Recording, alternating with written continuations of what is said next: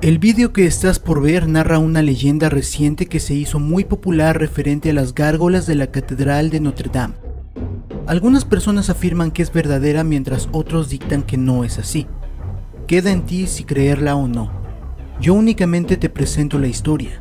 Si no crees en esto, tómalo como mero entretenimiento.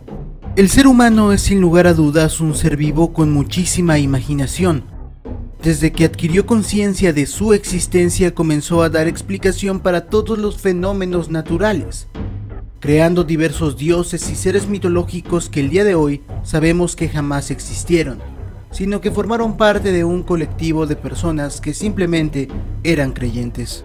Los primeros vestigios de seres mitológicos creados por humanos se remonta a dibujos en cuevas de hace decenas de miles de años. Los humanos primitivos, además de dibujar los acontecimientos que sucedían en su vida cotidiana, como la caza de animales, también plasmaban lo que veían en sus sueños, ya que ellos creían que cuando soñaban eran transportados a otro mundo, donde inclusive se podían reunir con seres que habían perdido la vida. De hecho, muchos científicos consideran que la creencia de una vida después de la vida viene de estas suposiciones primitivas. Aunque el día de hoy sepamos que los sueños no tienen absolutamente nada de paranormal y son simplemente una manera en la cual tu cerebro se prepara para el otro día mientras tu cuerpo descansa. Uno de los seres mitológicos más curiosos son las gárgolas, seres que en pleno 2019 causaron un fenómeno inquietante relacionado con Notre Dame. El día de hoy sabrás de qué hablo, así que ponte cómodo y disfruta porque I Goyo Destroys presenta el extraño fenómeno de las gárgolas de Notre Dame. Pero antes de comenzar, dos cosas. Primero, omite mi cabello de Saiyajin. Traté de peinarlo, pero fue imposible. Y la segunda, ya estamos regalando las Ouijas por haber llegado a un millón cien mil suscriptores. Para participar por una de ellas, simplemente dale like a este video, coméntalo aquí abajito, suscríbete al canal y activa la campanita para que no te pierdas de vídeos futuros, así como los directos, ya que en los directos se hacen los sorteos totalmente en vivo. Así que muchísima suerte. Ahora sí, continuemos. A pesar de que como tal las gárgolas surgen a inicios de la Edad Media, es decir, en el año 450 de nuestra era, estas están basadas en los grifos. No, no en ese grifo. Los grifos eran seres mitológicos que aparecieron en tiempos tan antiguos como la Edad de Bronce, donde se especula que los fósiles de dinosaurios de Asia fueron confundidos con estos seres. Sin embargo, la gente afirmó su existencia por esta evidencia muy entre comillas palpable, como lo fue con los unicornios que se decía que eran reales por los cuernitos de los pobrecitos narvales que se los cortaban y luego los vendían diciendo que eran cuernos de unicornio. En la mitología los grifos tenían la parte delantera de un águila, sus plumas eran de color completamente dorado con garras afiladas y enormes, mientras que su parte trasera era de un león. Sus proporciones eran del felino, es decir, el tamaño de un grifo era el de un león gigantesco y no el de un ave grande. De los grifos, como lo mencioné previamente, surgieron las gárgolas, que a diferencia de los grifos eran horrendas. A menudo tenían algún tipo de deformidad y tenían la desventaja de que únicamente podían vivir de noche. ¿Quién está editando este video? Te odio, Goyi del futuro. Ya que por las noches se transformaban en piedra. La mayoría de las gárgolas eran mitad humano, mitad otro animal, pero también se podrían encontrar representaciones de animales mezclados. A pesar de su origen mitológico y misterioso, pronto las gárgolas comenzaron a ser utilizadas de una manera distinta a por la cual fueron creadas. Mientras se veía a las gárgolas como seres poderosos y tétricos, poco a poco se fueron introduciendo en las construcciones de castillos o edificaciones, igualmente grandes como mera decoración. La gente podría ver a plena luz del día la estatua de alguna gárgola en algún techo. Sin embargo, se seguía teniendo la fe de que por la noche estos seres se volverían de carne y hueso y dejarían el castillo para sobrevolar el área. Y como por las noches no había luz en la parte superior de los castillos, las estatuas simplemente desaparecían en la oscuridad, causando que la gente realmente creyera que estos seres habían cobrado vida y se habían ido de ahí. Otra función de algunas gárgolas en la arquitectura era el ser usadas como caño, es decir, un tipo de construcción que sirve como drenaje para los tejados. Las gárgolas se construían en las esquinas de los palacios o castillos, en el tejado se dejaba una especie de hundimiento a las orillas, lo que causaba que cuando llovía el agua se fuera de esa zona y finalmente al agujero donde la gárgola escupía como si fuera fuente.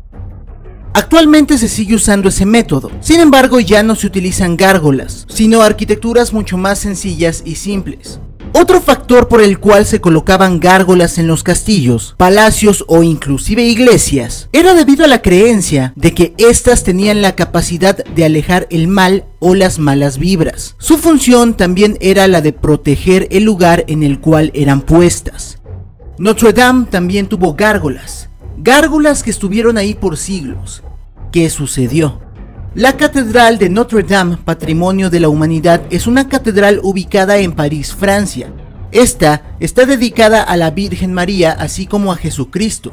Es uno de los edificios más antiguos que aún siguen en pie. Su edificación gótica comenzó el 24 de marzo de 1163. Sería el Papa Alejandro III quien se encargaría de dar luz verde a la construcción.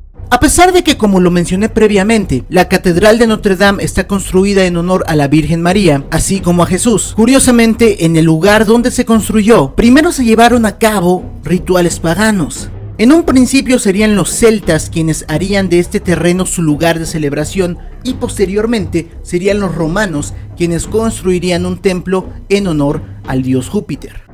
Sería alrededor del año 500 de nuestra era cuando ese templo sería destruido para construir una iglesia católica, que a su vez sería destruida para construir Notre Dame. La construcción iniciaría en 1182 y seguiría a través de los siglos. Casi 20 años después del inicio de su construcción, parte de la catedral ya estaba abierta para misas. A pesar de que los trabajos de construcción prácticamente no tuvieron descanso, hubieron etapas específicas donde el proyecto avanzó a pasos más marcados. Entre 1250 y 1267 fueron edificados los brazos de norte y sur a manos de Jean de Chelles, Mientras que en el siglo XVII una gran zona de la misma fue destruida debido a la orden de Luis XIV, quien mandó construir un estilo más barroco. En 1786 la aguja original de Notre Dame tuvo que desmontarse debido al desgaste de cientos de años de existencia. La Catedral de Notre Dame sobrevivió a situaciones como la Revolución Francesa, el auge de Napoleón o las mundiales, siempre en pie, siempre intacta. Evidentemente, al ser una catedral de estilo gótico, la catedral de Notre Dame tenía en su techo y alrededores decenas y decenas de gárgolas que habían estado ahí por cientos de años. Poco a poco, con la construcción de la iglesia, más gárgolas iban llegando a su nuevo hogar, el cual deberían proteger por toda la eternidad. La situación se dio en abril del año 2019. Después de siglos de estar protegiendo su hogar, serían los seres humanos quienes las removerían del lugar. La razón, no lo malinterpreten, no era con mala intención. Simplemente se les iba a dar mantenimiento para que volvieran como nuevas, a cuidar su amada casa. Los días pasaron y las gárgolas seguían sin volver a Notre Dame. Pero ¿qué podía salir mal? Era poco tiempo, y esas creencias de que las gárgolas cuidan su casa eran solo mitos, ¿no?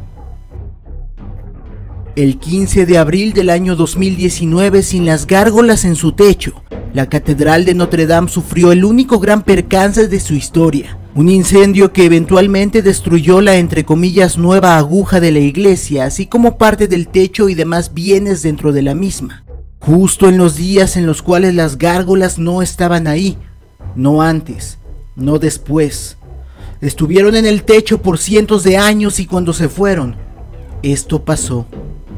¿Coincidencia o algo más?